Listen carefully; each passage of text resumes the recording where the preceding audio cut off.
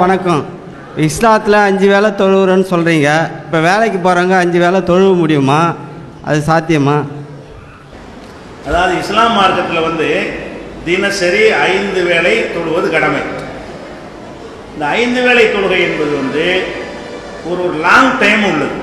ஐந்து வேலை தொழுகைன்னு சொன்னால் உதாரணமாக நண்பகலில் தொழுகிற தொழுகைன்னு வைங்களேன். நண்பர்கள் தொழுகிற தொழுகை என்று சொன்னால் ஒரு பன்னிரெண்டே கால் பன்னிரெண்டரைக்கு அந்த தொழுகை நேரம் ஆரம்பித்து மூணே கால் வரைக்கும் அந்த டைம் இருக்குது. பன்னிரெண்டு காலுக்கு துறலாம் பன்னெண்டரைக்கு துறலாம் பன்னெண்டே முக்காலுக்கு துறலாம் ஒன்றுக்கு துறலாம் ஒன்றே காலுக்கு துறலாம் ஒன்றைக்கு துறலாம் அது ஒரு ஒரு ஒரு தொழுகைக்கும் இரண்டு மணி நேரம் மூணு மணி நேரம் என்கிற அளவில் நீண்ட அவகாசம் முஸ்லீம் கொடுக்கப்பட்டிருக்கிறது. அந்த கூட்டாக பள்ளிவாசல தொழுவதற்கு பாருங்கள் அது ஒரு டைம் நிர்ணயிச்சிருப்பாங்க. அதை தவற விட்டு விட்டால் தனியான முறையில் ஒருத்தர் என்ன செய்யலாம்னு கேட்டால் பன்னெண்டரைக்கு தொழாத ஒரு ஒரு மணிக்கு தொழலாம் ஒன்றைக்கு தொழலாம் ரெண்டுக்கு தொழலாம் ரெண்டரைக்கு தொழலாம். இவ்வளவு நீண்ட ஒரு நேரத்தில் ஒரு தொழுகை நிறைவேற்றுவது வந்து கஷ்டம் கிடையாது. அதே மாதிரி வந்து சாயந்தர தொழுகை இருப்பாங்க மூணே காலுக்கு அந்த தொழுகை நாங்கள் ஆரம்பிக்கணும். மூணே காலிலேருந்து எது வரைக்கும் தொழுவலாம்னு கேட்டால் சூரியன் மறைகிற வரைக்கும். ஏற்கனவே ஆறே கால் வரைக்கும். அப்போ மூணே காலுக்கு தொழலாம் மூன்றைக்கு தொழலாம் மூணே முக்கால் நாலு நாலு அஞ்சு அஞ்சு ஆறு. அப்போ ஒரு மூணு அவர் அது டைம் கொடுக்கப்படுகிறது. அந்த மூணு அவருக்குள்ள அவர் என்ன செஞ்சுக்கலாம் அது தொழுதுக்கலாம் சூரியன் மறைந்த பிறகு ஒரு தொழுகை இருக்கிறது. மறைந்த பிறகு உள்ள தொழுகை வந்து எண்பது நிமிஷம். எண்பது நிமிஷத்தை அவர் தொழுகிறலாம் இப்படி எல்லா தொழுகைகளுமே ஒரு செகண்ட் நிறைவேற்றணும். அப்படி சொல்லப்படலை. அஞ்சு நிமிஷத்தில் தொழுது ஆகணும் அப்படின்னு சொன்னாதான் எனக்கு எப்படி சாத்தியப்படும்னு கேட்கலாம். இந்த விஷயங்கள் ஒவ்வொரு தொழுகைக்கும் இரண்டு மணி நேரம் மூன்று மணி நேரம் கொடுத்து இந்த மூணு மணி நேரத்துக்குள்ள அந்த தொ- அந்த நேரத்தை தொழுகை நிறைவேற்றிக்கொள் அப்படின்னு சொன்னால் இது வந்து எங்க மார்க்கத்தில் உள்ளது இல்லை. புரிஞ்சுக்கிற சொல்கிறேன் ஒரு தம் அடிக்கிறான்ல போய் அந்த டைம் தான் ஒரு தொழுகைக்கு வழங்குதா சிகரெட் அடிக்கிறான்ல மூணு மணி அடிக்காம இருப்பானா? மூணு மணி நேரத்தில் போய் வெளியே போய் சிகரெட் அடிக்கிற ஒரு சிகரெட் அடிச்சு முடிச்சுட்டு வர்றதுக்கு எவ்வளோ நேரம் எடுக்குமோ அவ்வளோ நேரம் தான் பிரேயருக்கு எடுக்க போகுது. அதுக்கு ஒதுக்க முடியுதுல்ல. மூணு மணி நேரத்தில் நாலு சிகரெட் அடிக்கிறோம் இருக்கானா இல்லையா?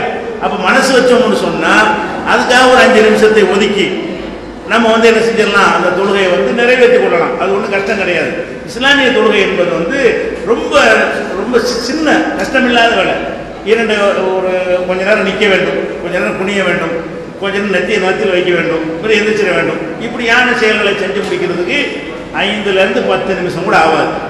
மூணு நிமிஷத்தில் கூட சில தொழுகைகள் க- காலை தொழுகைலாம் சின்னதாக கூட முடிச்சுக்கிடலாம். அப்போ இந்த மாதிரி ஒரு நாளைக்கு இருபத்தைந்து நிமிடம் இருபது அஞ்சு வேலை தொழுகைக்கும் சேர்த்து இந்த இருபத்தைந்து நிமிடங்களை இருபது நிமிடங்களை ஒருத்தருக்கு ஒதுக்க முடியுமான்னு கேட்டால் தாராளமாக முடியும். இன்னும் சொல்ல போனால் இது எதுக்காக செய்யப்படுது கவனிக்கணும். முதல்ல என்ன செய்யணும்னு கேட்டால் சாத்தியமான்னு கேட்கறத விட இந்த வணக்கத்தை ஏன் இஸ்லாம் சொல்கிறது? இப்போ மனிதன் வந்து என்னதான் ந- ஒரு நேர்மையானவன் சொன்னால் கூட ஒரு சந்தர்ப்பம் அவனுக்கு எடுத்துருது. நான் பார்க்குறோம்.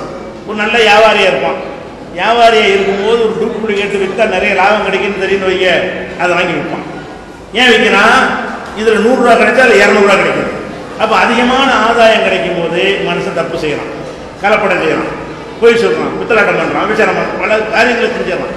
அப்போ எதனால் இது செய்கிறான்னு கேட்டால் நம்மளை ஒரு கடவுள் படைத்திருக்கிறார் என்பது மறந்துடும் கடவுள் பார்த்து கொண்டிருக்கிறார் என்பது அவனை விட்டு மறந்து போய்விடுகிறது. அப்போ மனிதன் வந்து அடிக்கடி மறந்து விட்டு இறைவனை மறந்து விட்டு போகிற காரணத்தினால தான் நம்மளை யாரும் பார்க்கலைங்கிற மாதிரி தப்பு செய்கிறோம் இஸ்லாம் என்ன பண்ணுது? அஞ்சு டைம் வந்து சார்ஜ் ஏற்றிக்கிட்டு போ. மத்தியானம் தொழுகிறானா அது ஒரு மூணு மணி நேரத்தை நிற்கி தொழுது இறைவனை வழிபட்டு வந்து நிற்பான்ல இப்போ தானே தொழுதுட்டு வந்திருக்கிறோம். இப்போ தானே இறைவன்ட்டு பிரார்த்தனை பண்ணிட்டு வந்திருக்கிறோம். இப்போ எப்படி நம்ம கலப்படம் பண்ணுறது இப்போ எப்படி நம்ம லஞ்சம் வாங்குறது? இப்போ எப்படி மோசடி பண்ணுறது நினைப்பான்ல. அது ஒரு மூணு மணி நேரத்துக்கு இடையில் அவர் என்ன வந்தாலும் சரி, இறைவனுடைய அச்சம் இருந்து கொண்டே இருக்கும். அப்புறம் புதுசு புதுசு இறங்கிடும் சார்ஜ் ஏறணும். மறுபடியும் போய் இன்னொரு தொழுது தான் செய்யும். மறுபடியும் சார்ஜ் ஏறும் எதுக்கு ஃபைவ் டைம்ஸ் போச்சு சொல்கிறோம்னு கேட்டால் ஃபைவ் டைம்ஸ் கரெக்டாக போயிட்டு இருந்தாங்கன்னு சொன்னால் மோசடியே பண்ண முடியாது உங்களால். ஏ- ஏமாத்து ஏமாற்ற முடியாது. திருட முடியாது. விசாரம் பண்ண முடியாது. ஏன்? இறைவன் பார்க்கறான். இறை தொழுவுறன்னு அதான் இருக்கும் இறைவன் பார்க்கறான் இறைவன் பார்க்கறான். அப்படிங்கிற எண்ணத்தை திருப்பி திருப்பி ஃபைவ் டைம்ஸ் சார்ஜ் பண்ணிட்டு வரக்கூடிய நேரத்தில் நம்ம நல்லவனாக வாழ்வதற்கு அது உதவுகிறது. சட்டத்தை ஏமாத்தலாம் அரசாங்கத்தை ஏமாத்தலாம். கடவுளை ஏமாற்ற முடியாதுன்னு நினைக்கணுமா இல்லையா? சட்டத்தை ஏமாற்றி என்ன வேணாலும் செய்யலாம். படைத்த இறைவனை ஏமாற்ற முடியாதுங்கிற ஒரு எண்ணம் திரும்ப திரும்ப ஊட்டப்பட்டால் தான் அவனுக்கு நிற்கிறது. ரொம்ப பலவீனமான பேட்டரி உள்ளவனாக மனுஷன் பழகப்பட்டிருக்கான். அதனால இஸ்லாம் என்ன பண்ணுதுன்னு கேட்டா அஞ்சு நேரம் சார்ஜ் ஏற்றிக்க இறைவன் இருக்கிறாங்கிற ஒரு உணர்வை உண்டாக்கி கொண்டு வந்து படைப்பிட ஒரு தொழிலில் ஈடுபட்டுன்னு சொன்னா ஒரு அரசு ஊழியராக இருக்கிறீங்க. நீங்க அஞ்சு நிமிஷம் ஒதுக்குற யோசிக்கணும் வைங்க கவரில் வச்சு நின்று லஞ்சம் வாங்கிடுவீங்க. ஏன்? உங்களுக்கு பயம் இறையச்சம் இல்லை. இப்ப தொழுதுக்கு வந்தீங்கன்னு வைங்க. நம்ம எப்படி வாங்குறது? நம்ம வேலைக்கு சம்பளம் வாங்குறோம் அரசாங்கத்திட்ட. இவன்கிட்ட எப்படி எக்ஸ்ட்ரா வாங்குற நியாயம்? அப்படி நினைச்சு தூக்கி கொடுத்துருவீங்க. அப்ப இந்த மாதிரி நம்ம எல்லோரும் நல்லவனாக வாழ்வதற்கு ஒரு இருபத்தஞ்சு நிமிஷம் ஒதுக்குவது உதவுமையானாலும் செஞ்சிட வேண்டியதானே கொஞ்சம் கஷ்டமா இருந்தாலும் கூட இதெல்லாம் நம்ம நல்லவனாவதற்கு ப- உதவக்கூடிய ஒரு விஷயம். நம்மை பண்படுத்திக் கொள்வதற்காக வேண்டி சில நிமிடங்களை கெட்டு கெடுப்பதற்கு நிமிடங்களை செலவு பண்றோமா இல்லையா? சினிமாவுக்கு செலவழிக்கிறோம்ல. அதில் என்ன நன்மை? ஒன்றும் கிடையாது. இப்போ வெட்டி பொழுதுபோக்குறதுக்கு செலவழிக்கிறோம். அது என்ன நன்மை? ஒன்றும் கிடையாது. இப்போ நன்மையான காரியத்துக்கு சில நிமிடங்களை ஒதுக்கணும்னு மனசு வச்சா இது ஒரு பெரிய மேட்டர் கிடையாது. நன்மை தான் நடக்கும். மனிதன் நல்லவன். உங்கள்கிட்ட ஒரு மாற்றம் வரும். ஐந்து முறை தொழுது கொண்டு வந்தால் கெட்ட செயல் உள்ளவன்லாம் அந்த கெட்ட செயலிருந்து விடுபடக்கூடியவனாக மாறிடுவான் ஏமாற மாட்டான் ஏமாற்ற மாட்டான். அவன் நேர்மையாக நடப்பார்கள். அதான் முக்கியமான காரணம். எங்கள் சமூகத்தில் நாங்கள்லாம் வரதட்சணை வாங்க மாட்டோம். டவுரி ஜமாத்தில் உள்ள ஆட்கள் எடுத்துக்கிட்டீங்கன்னா நாங்கள் டௌரியே வாங்க மாட்டோம். ஓடி ஓடி அப்படி தான் வாங்க மாட்டோம். ஏன்? புகை பிடிக்க மாட்டோம். புகை பிடிச்ச மெம்பராக கூட இருக்க முடியாது. வரதட்சணை வாங்குற கல்யாணத்துக்கு நாங்கள் போக மாட்டோம். ஏன்? எங்கள் குடும்பத்தில் தான் போக மாட்டோம். ஏன்? இஸ்லாம் தடுத்துருக்குது. இப்படியான உணர்வு எதனால் வருது? அந்த இறைவன் சார்ஜ் ஏற்றிக்கிட்டே இருக்கிற காரணத்தினால் நமக்கு அந்த அச்சம் இருந்து கொண்டே இருக்கிறது. அதனால் நன்மை தான் விளையுமே தவிர கேடு வராது.